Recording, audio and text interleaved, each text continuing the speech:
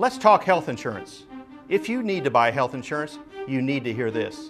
This year, it's double the fines if you're not covered.